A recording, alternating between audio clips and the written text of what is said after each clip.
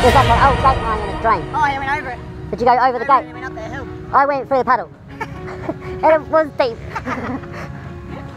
Because I was just standing there like the bike's 30 miles. It was deep, bro.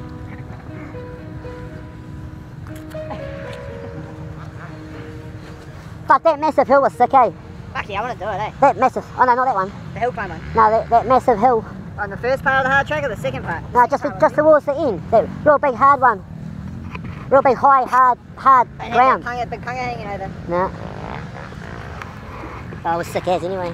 I was getting, I was getting air off it all the way up in certain areas like, man.